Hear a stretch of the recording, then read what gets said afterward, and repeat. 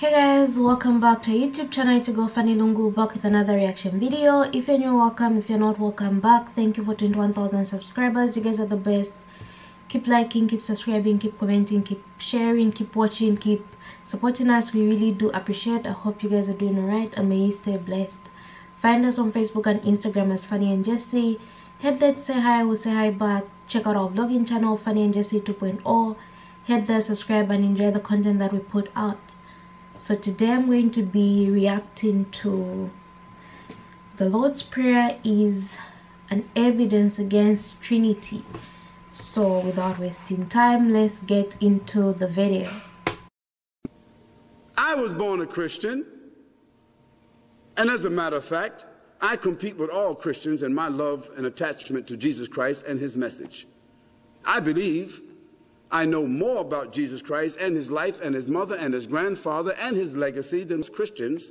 As a matter of fact, most Christians really should call themselves Christologists because it's the study. It is what people say about Jesus Christ, not who Jesus Christ was or how he actually lived. For he himself never told anyone to call themselves Christians.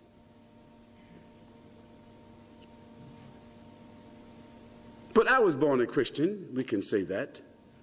That nomenclature was put upon me. And as a Christian, I asked about this issue of Jesus Christ being the, the Son of God. I wanted to understand that. I wanted to understand how could Jesus be God's son and also be God and also be a divine person among three persons that's part of the one God. Now see if you can mathematically uh, figure that out.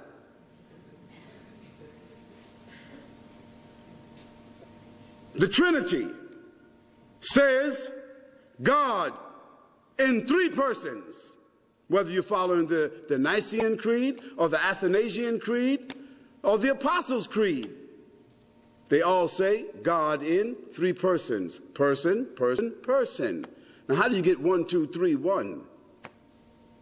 How do you get one God out of person, person, person? And they make it clear that each one is a person and a divine personality, yet they all are one God. A mystery that has never been solved in 2,000 years. No Christian, no minister, no cardinal, no priest, not even the Pope or any of the church fathers can tell you today how that is. So they've all decided to use a word to sum it all up. It's a mystery, my son.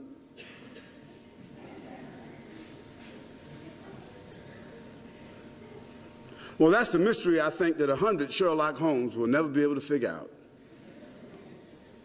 I think you need a little bit more than forensic science to figure that mystery out. But Jesus Christ himself, he answered what he meant by son. Because you and I both know that when Jesus Christ was asked, O oh, Rabbi, teach us how to pray. Jesus Christ gave the Christians or his disciples, the Nazarenes, he gave them a prayer that all of you know to be the Lord's Prayer. How many people are Christians here? Don't be shy. Let me see. Good. There's enough. Let's walk through, let's walk through, let's talk through the Lord's Prayer. I mean, it's a good prayer. He said, I will teach you how to pray. He said, Our Father who art in heaven. He didn't say, My Father. He didn't say, My Father. If he was the exclusive Son of Almighty God, then he would have said, My Father who art in heaven. What did he say, Christians? Our Father who art in heaven. Hallowed be thy name, not my name. Not our name, but thy name. He's speaking in the second person. The second person exclusive. Thy kingdom come. Whose kingdom come? My kingdom come? If Jesus is God and he's part of the Godhead, he's one of the three, then he owns part of that too. He should say, Our kingdom come. Thy will be done. I'm not being facetious here. I'm quoting a prayer, a prayer that I also feel passionately about. Thy kingdom come, thy will be done on earth as it is in heaven. Give us this day our daily bread. Who's eating bread? Us. That means Jesus Christ and his mother is both eating bread, isn't it? And if you, if you eat bread, you're going to drink some water or some juice or something.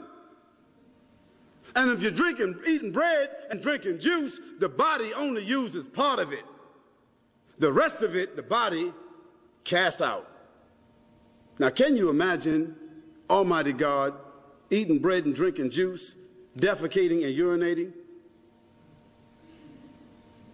Now, use your mind, Christians. We're not talking mathematics here. We're not talking high science here. We're not embarrassing anybody here. We're not casting aspersions on anybody here.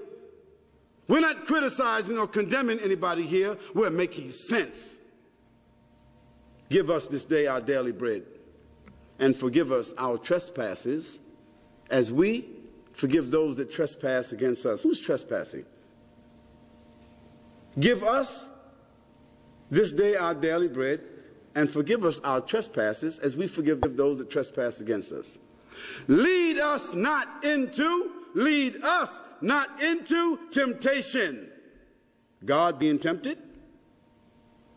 But deliver us from evil. God asking himself to be delivered.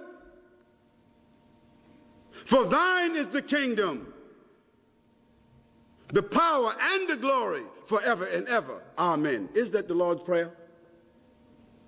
Is that the Lord's Prayer? Yes. Jesus made the Lord's Prayer, and he taught the disciples the Lord's Prayer. So that was for him and everyone else. That Lord's Prayer that I just read sounds something like what I read from the Quran initially. It almost sounds something like the Fatiha that we recite 27 times a day. Alhamdulillahi Rabbil Alameen. All praises to Almighty God, Lord of the worlds. Ar-Rahman Ar-Rahim, the compassionate and the merciful. Maliki Din, master of the day of judgment.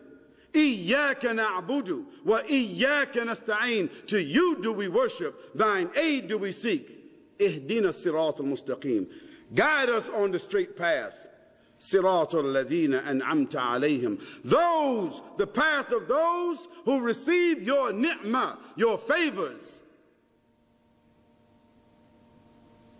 غير المغضوب عليهم ولا الضالين and not those who receive your wrath or those who go astray that's what we say in the Quran similar to what Jesus said according to the scripture no contradiction there at all.